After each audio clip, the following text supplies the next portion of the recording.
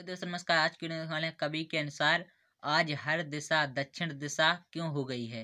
तो दोस्तों यार, आज तो चारों ओर, दोस्तों, आज तो चारों ओर अराजकता, विध्वंस, हिंसा, लड़ाई, झगड़े आदि फैले हुए हैं। यमराज के आलीशान महल भी सभी दिशाओं में हैं, जिनमें वह निवास करता है। अतः कवि के अनुसार हर दिशा दक्षिण दिशा हो गई है। तो दोस्तों आशा करता हूँ वीडियो पसंद है तो वीडियो थोड़ी पसंद है, वीडियो को लाइक करना चैनल को सब्सक्राइब